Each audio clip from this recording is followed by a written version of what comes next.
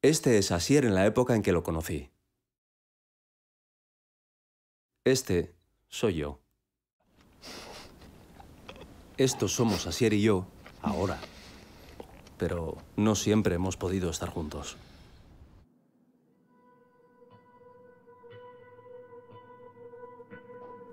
Ocurrió el 3 de marzo de 2002. Esta vez no era una cara desconocida en las noticias. Esta vez era mi amigo.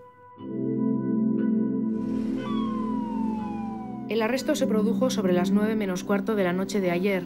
Los detenidos son... ¿Cómo hacerles entender qué pudo llevarle a tomar una decisión que a mí mismo me costaba asimilar?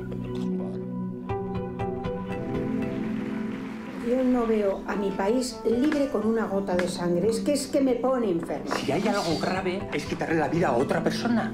Ahora, ¿quién le puede llevar a una persona a quitarle la vida a la otra? Eso es a lo que hay que entrar.